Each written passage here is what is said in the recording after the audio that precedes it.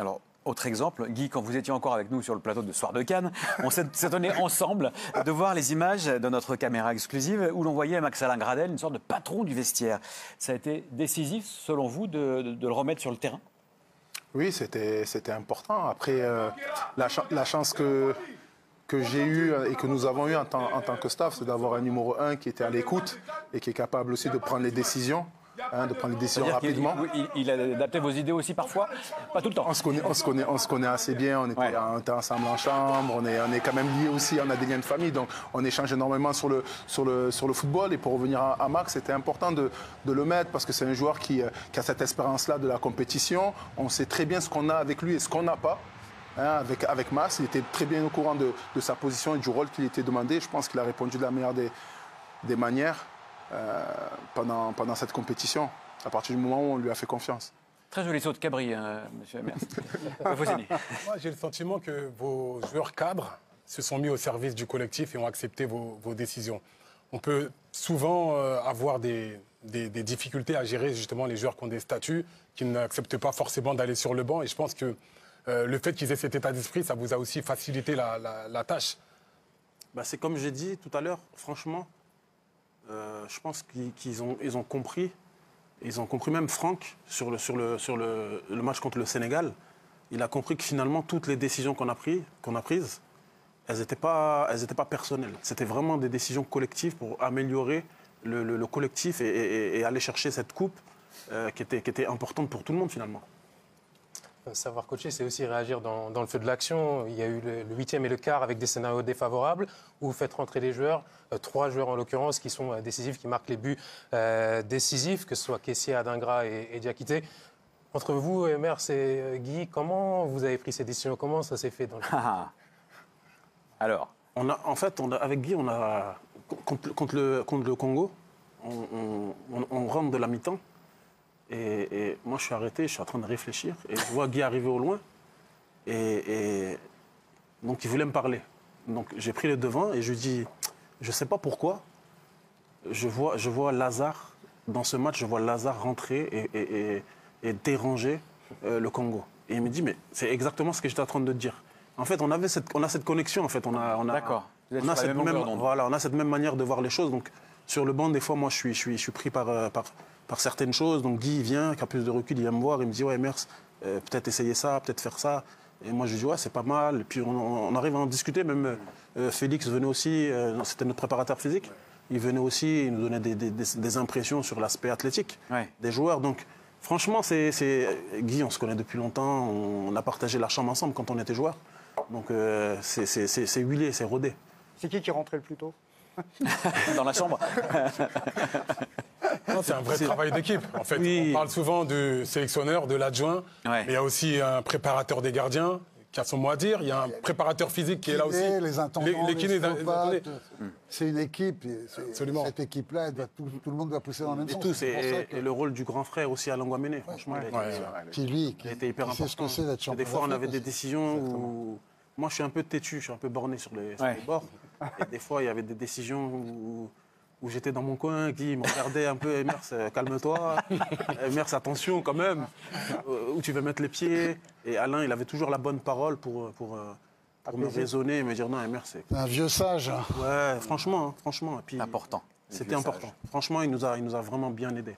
Si on revient sur la globalité euh, des quatre matchs que vous avez dirigés, on se rend compte qu'il y a deux phases. On en parlait la semaine dernière avec Anabil Djeli sur ce plateau. La première, c'est celle du huitième et du quart de finale, deux rencontres où vous avez longtemps subi avant de reverser la tendance.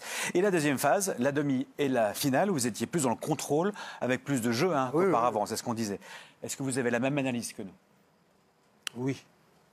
Oui, parce que Sénégal et, et Mali, on, est, on a encore la pression de ce qui s'est passé euh, euh, au premier tour. On joue contre deux très très grosses équipes. hein. C'était pour moi les deux meilleures équipes de la, de la- qu'on qu'on a affrontées en tout cas. Après, je pourrais Ouais, dire Sénégal et compétition, Mais c'était, c'était surtout le Mali. C'était, c'était, ils nous ont vraiment posé beaucoup beaucoup de problèmes. Donc on va dire qu'on ressortait la tête de l'eau petit à petit. On n'était pas encore totalement, totalement guéri, totalement soulagé de, de- de- du premier tour. Donc ça a été des matchs un peu plus compliqués où il a fallu aller chercher la qualification grâce C'est au, c'est plus que grâce au mental. Ce- Celui-là, il tient de l'irrationnel quand même. Ouais, c'est clair, On est d'accord. C'est clair. Même si on a, franchement, tactiquement, on a fait un super match. On a À fait un super vous match avez changé que- les choses. ouais. quoi. Oui, on a changé, on a fait un super match tactiquement parce que même à 10, ils ne nous ont pas forcément mis en, en- en danger. Mais, mais oui, on était plus soulagés sur la demi et, pour- et sur la finale, ce qui a fait qu'on a été un peu plus maître de- de- de- du jeu. Euh, Guy, tout d'abord, euh, vous étiez dans la, dans la réaction, c'est ça? Et puis après, à partir de, de la demi, vous étiez dans l'action. Est-ce qu'on peut le, le résumer aussi simplement que ça? Oui, c'est un peu ça. On s'amusait à leur dire aux, aux joueurs qu'on avait connu des scénarios un peu voilà, irrationnels. Qu'est-ce qui nous manquait maintenant C'était de dominer un match, hein, de maîtriser un match de bout Soyons en bout. rationnels pour une fois. pour une fois, essayer de, voilà, de, de- de- de- de- de tenir un match de, de bout en bout. Donc, comme l'a dit euh, Emers, effectivement, après, après les rencontres, après le Mali, on avait un peu plus de certitude.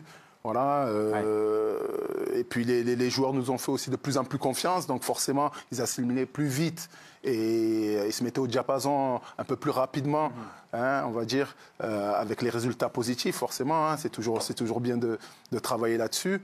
Donc euh, voilà, c'est ce qui nous a permis de, de continuer à avancer. hein. Est-ce qu'il faut continuer à miser sur le duo Ahmed Faïgui de Mel Salut à toi et bienvenue dans cette vidéo. Dans cette vidéo, on va parler des éléphants de la Côte d'Ivoire. Mais avant de commencer, si tu me découvres à travers cette vidéo, ici, nous, on parle de foot. Ici, nous, on est passionné par le foot. Le foot, c'est notre passion. Donc, si tu es intéressé par la thématique et surtout, si tu aimes ce genre de contenu, si le contenu te parle, n'hésite pas de t'abonner, d'activer la cloche de notification pour ne rien manquer des prochaines vidéos qui vont arriver sur la chaîne. C'est on est parti. Alors, est-ce qu'il faut continuer à miser sur le duo Ahmed Faïgui Demel? Pour moi, c'est oui. Pourquoi c'est oui? Pourquoi changer une équipe qui gagne? Pourquoi changer une équipe qui gagne, les amis? Le duo Ahmed Faïgui Demel a apporté ses fruits. Ça a remporté une canne.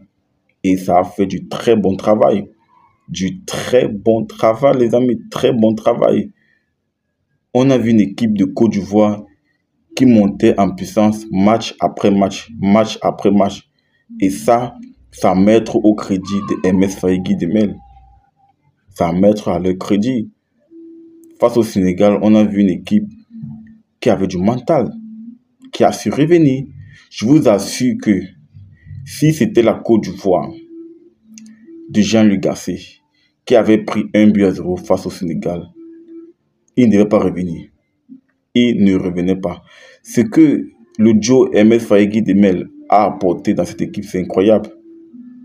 L'aspect mental, c'est très important dans le foot. Ils ont d'abord soigné les têtes. Ils ont d'abord soigné les têtes. C'est vraiment, c'est l'une des choses les plus importantes dans le foot. Mentalement, lorsque tu n'es pas bien, c'est très dur de jouer au foot. Lorsque mentalement tu n'es pas bien, c'est très dur de jouer au foot. Donc, lorsqu'ils sont arrivés, la première des choses, était d'abord de soigner les têtes. Et ça s'est vu sur le match Côte d'Ivoire-Sénégal. Comment le Sénégal ouvre la marque. La Côte d'Ivoire réussit à revenir. La Côte d'Ivoire gagne au tir au but. Il faut avoir des ressources mentales pour le faire. Tu dois avoir du mental. Tu dois être costaud mentalement. Avec une équipe du Sénégal qui a fait un parcours sans faute durant les phases de poule. Je rappelle que le Sénégal, c'était trois matchs, trois victoires, 8 buts marqués pour un seul petit but encaissé. Pour un seul petit but encaissé. Donc, le Sénégal arrivait avec beaucoup de certitude, beaucoup de certitude, beaucoup de confiance. Et lorsque ce genre d'équipe te mène, bah, si tu n'es pas costaud mentalement, tu vas prendre l'eau. Tu vas te faire étrier. Tu vas te faire étrier. Donc, lorsque le Jogi Demel et Faye, lorsqu'ils prennent la sélection, la première des choses d'abord, c'est l'aspect mental. C'est l'aspect mental. Ils ont su travailler l'aspect mental. Ils ont vraiment su travailler l'aspect mental. Après, on a commencé à voir les pattes, je pense, à partir euh, du Mali. Mali en deuxième période. Deuxième période de Mali. Ensuite, euh, la RDC. On a commencé à voir vraiment les pattes. Là où la Côte d'Ivoire avait une emprise sur le jeu, une emprise sur la maîtrise du jeu. C'est là où on a commencé à voir les pattes. On a commencé à voir les pattes. Donc, ces deux-là, les amis, ils ont fait un travail incroyable. Et pourquoi changer quelque chose qui fonctionne? Pourquoi changer quelque chose qui fonctionne? C'est comme si vous avez la recette d'un gâteau et tout le monde aime ce gâteau-là. Après tout d'un coup, tu te dis, pourquoi pas changer la recette? Pourquoi pas changer les ingrédients? Pourquoi pas changer les ingrédients? Et tu commences à faire un gâteau qui n'est pas bon et tu payes les clients, tu commences à te plaindre que non, je voulais ici. Tant que quelque chose marche, ne change pas. Tant que tu as une formule qui fonctionne, pourquoi changer? L'audio MS Faye demain fonctionne, pourquoi changer? Donc, les amis, moi, je suis partisan de ceux qui pensent qu'on doit maintenir ces deux-là. Heureusement que la Fédération ivoirienne de football l'a compris. Ils sont en train de vouloir les prolonger. Ils sont en train de vouloir prolonger leur contrat. Et pour moi, c'est vraiment une très très bonne chose. Très très bonne chose. Parce que ces deux-là, franchement, pas seulement ces deux-là, avec aussi tout le staff de la Côte d'Ivoire, ils ont vraiment fait un travail colossal.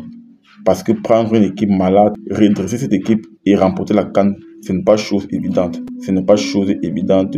Après le troisième match face à la Guinée équatoriale, la Côte d'Ivoire était au fin fond du trou. On ne savait même pas s'ils devaient traverser les phases de poule. Ils ont su redresser cette équipe de Côte d'Ivoire et remporter leur troisième titre de champion d'Afrique. Donne-moi ton avis en commentaire et si ce n'est pas encore fait, n'hésite pas à t'abonner, d'activer la cloche de notification pour ne rien manquer des prochaines vidéos qui vont arriver sur la chaîne. On se dit à très bientôt pour notre vidéo les amis.